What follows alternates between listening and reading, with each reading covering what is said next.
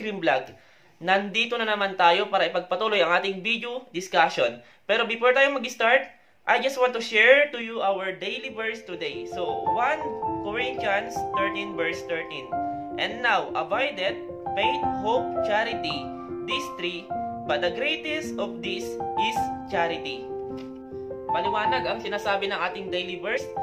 Ang sinasabi niya is isa puso natin sa ating gawa ang faith, hope, at charity. But what is the most important among these three is the charity po, di ba? Ano ba kasi ang charity? Ang charity po is pag-ibig sa Diyos. So kapag ba sinabi mo na I love you Lord, tapos inaapakan mo naman yung karapatan ng kapwa-tao mo, may nakita kang nangangailangan ng tulong pero hindi mo naman tinulungan, may charity ba yan? May pag-ibig ka sa Diyos yan? Siyempre, wala. So, para may pag-ibig ka sa Diyos, kailangan mayroon ka ding pag-ibig sa kapwa-tao. Paano mo iniibig ang kapwa-tao? Siyempre, sa pamamagitan ng pagtulong. And remember, kapag tumulong ka, don't expect a reward po. Tumulong tayo ng walang kapalit. So kung tinutulungan natin ang ating kapwa, meron po tayong tinatawag na charity. Meron tayong tinatawag na pag-ibig sa kapwa-tao. So kapag iniibig mo ang kapwa-tao, meron kang pag-ibig sa Diyos na sinasabi po natin. Ang ating subject ngayon is all about question document. Pero before tayong magsimula, magpasalamat muna tayo sa mga requester ng video ito, no? So, ang requester ng video ito ay sina Amelo Den Mangumbaya, Bryce Santos, Hakim Panindigan. So, pasensya na po kayo ha, kasi natagalan po yung paggawa ng video ito kasi medyo busy-busy po tayo sa mga previous weeks. So, if you are first time on my channel, just click the subscribe button below and hit the bell button beside para ma-update ka sa mga susunod kong video regarding criminology matters. Ang ating discussion po ngayon is all about documents, di ba? So, alamin natin ngayon ang iba't ibang klase ng documents like private document, public document, legal document, uh, standard document, or question document, etc. po. Ano ba kasi ang document? So, ang document po is galing sa salitang Latin na documentum, na ang ibig sabihin is a lesson. At another French word din na docere, okay? Docere is salitang French na ang ibig sabihin is to teach po. Yan po ang mga etymology ng salitang document po. So, yung definition ng document is, alam nyo na yan, tama ba? So, kasi po, ang document po is lahat po ng mga material na merong mark, symbol, or sign. Whether yung mga symbol or sign na yan is visible or nakikita, or malabo or partially visible or semi-invisible, or hindi nakikita yung mga mark na yan, or yung tinatawag natin na invisible. Sir, meron bang document na may sulat na invisible? Meron po. Kapag ang ginamit is yung tinatawag natin na secret ink or sympathetic ink. Okay? So, yung secret ink or sympathetic ink is hindi po natin nakikita sa document unless i-trace po natin yung document na yan. Okay? So ngayon po, kapag nag-trip po ako at naglagay ako ng mark sa material na to, okay? Nakikita niyo to? Naglagay po ako ng mark na yan. So trip ko lang yan ha. So is this a document? Di ba sabi natin, material ito, okay? Yes, may mark yan. Yes, meron. Pero may message ba or may meaning ba yung mark na to? Wala po. Therefore, yung mark na ito na nagtripan ko lang is hindi po considered na document. Kasi po, para maging document, dapat merong message or meaning na ipinapahiwatig sa inyo. Yan po ang sinasabi natin na document. So, yung definition ng document ha, is any material containing mark, symbol, or sign either visible, partially visible, or invisible that conveys a meaning or information po. Now, kapag ang sinasabi naman natin is legal documents, take note, para maging dokumento ang isang bagay, kailangan meron pong obligation that is extinguished. Kailangan merong right that is established in a certain document. Yan yung sinasabi sa People versus Moreno. Ulitin ko po ha, para maging dokumento ang isang bagay, kailangan meron po tayong tinatawag na right or obligation is established or extinguished in a certain material. Yan po ang legal basis of documents under People versus Moreno. At sa People versus Niloskin naman, sinasabi dito na ang documents is every deed or instrument executed by a person by which a agreement or some disposition is proved, evidence, or set forth. At sa best evidence rule naman, ang document daw is any physical embodiment of information or idea. So, example po niyan, a letter, a contract, a receipt, etc. po. And meron din tayong mga writings which do not constitute a document. Like yung draft of a municipal payroll which is not yet approved by the proper authority. Hindi daw yan documents ayon sa People versus Camacho. The mere blank forms of official documents or the spaces of which are not filled up do not constitute a document under People versus Santiago. At yung mga pamphlet or books which do not evidence any agreement or disposition does not constitute documents, but they are mere merchandise po.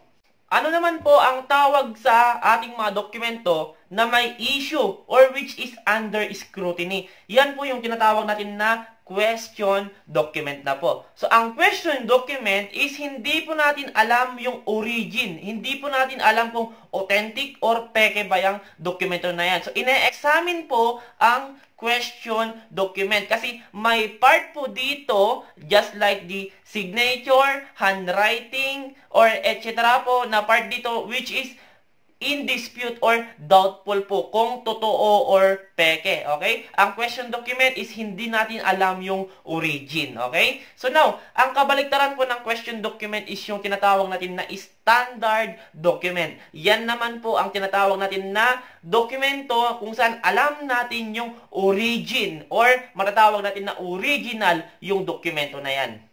Ano po yung halimbawa ng mga question document? So, ito po yung mga dokumento na kinwe-question yung signature, merong fraudulent alteration, merong question regarding sa mga materials used in their production, yung mga holographic document or those documents that are completely written and signed by the one person. Yung mga documents involving typewriting, yung mga documents na may question regarding to their age or date of production, yung mga dokumento which can identify a person through handwriting, yung mga dokumento na genuine but they are erroneously or fraudulently attacked or disputed. At yung mga dokumento na na-involve po yung prints. Yun po yung mga classification of question documents. And now we have a question here po. What is the focal point of the examination and to which the document examiner relies as to the extent of the problem? Letter A, standard document. Letter B, question document. Letter C, disputed document. And letter D, both B and C. So, anong sagot po natin dyan? That is letter D po. Okay? Ang focal point po ng doc question document examination is yung tinatawag natin na question document. At pagdating sa korte po, tinatawag po natin na disputed document na po ang question document. Now, ano naman po ang term ng standard document sa korte? Ang term naman po ng standard document pagdating sa korte ay exemplar po. So, take note ha, ang standard document is yung basis or sample which is used to compare the other things or characteristics na makikita po sa question document. Now, meron po tayong two types of standard documents. Ang una po dito is yung tinatawag natin na collected or procured document. Ito po yung mga standard specimen which is executed in the regular course of man's activity or that which are executed on the day-to-day -day writing activity. Ang example po nito is yung mga logbook or attendance sheet o yung mga sulat nyo sa everyday. And yung second type of standard document naman is yung tinatawag natin na requested or dictated document. Ito po yung mga klase ng mga standard document which are made upon a request only. They are prepared at one time. Ang another term po ng dictated or requested document is yung tinatawag natin na post little mutam standard. Now, punta naman tayo sa mga legal classifications of documents. Ito po yung mga private documents, public documents, official documents, at saka commercial documents. Ang commercial documents po are those used by the merchants or businessman to promote trade, credit transactions, or commercial dealings. Ang example po nito is yung mga commercial checks, yung mga withdrawal slips, bank passbook, ticket issued to passenger, sales receipts and invoices, etc. po. Basta yung mga documents that are regulated by the Code of Commerce or other commercial laws ay tinatawag po natin na commercial documents. Now, ano naman po ang public documents? Take note that public documents embodies the official acts of a public officer. Example po yan is marriage contract, administrative order, etc.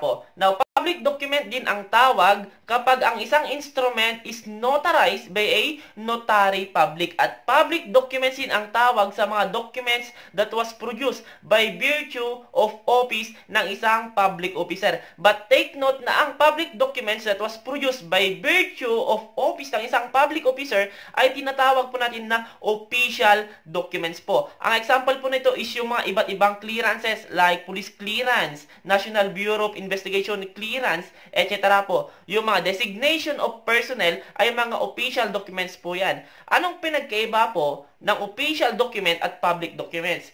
Take note po that all official documents are public documents, but not all public documents are official documents. Now, take note na mas broader ang term na public documents. Before na maging official documents ang isang dokumento, yan muna ay magiging public document. Magiging official document lamang ang isang public document if there is a law which requires a public officer to issue or to render such document po. Ano naman po ang private documents? Ang private documents po is yung mga documents, deeds, or instrument made by a private person without the intervention of a notary public or other person legally authorized by which document some disposition or agreement is proved, evidence, or set forth. Ang example po ng private documents ay yung mga deeds na wala pong notaryo, ang public notary, yung mga letters, at saka mga private receipts po. Now, kailan po magiging public document ang isang private document? Siyempre, kapag yung private document is nagkaroon na po ng notaryo, ng notary public. Kapag ang private document is naging part na po ng public record. At kapag yung private document is made intended to be part of a public record, magiging public document po ang isang private document sa mga case na yan po. Now, punta naman tayo sa other types of documents.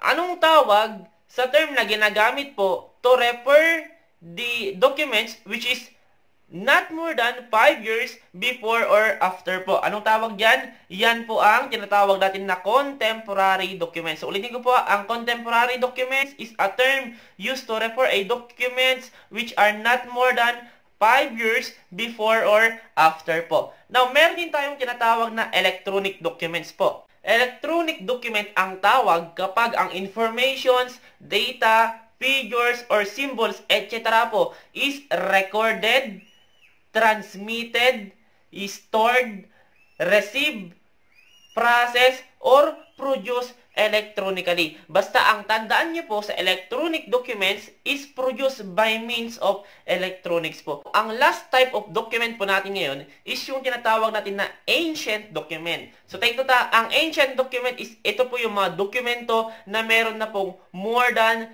30 years of age. But take note, hindi lang po more than 30 years of age ang requirement ng isang ancient document. Kailangan ito din ay genuine at wala po itong alteration po. So, ang ancient document uh, is a document which is made more than 30 years of age and is stored in a place where it is normally found to be genuine and must not be alterated po.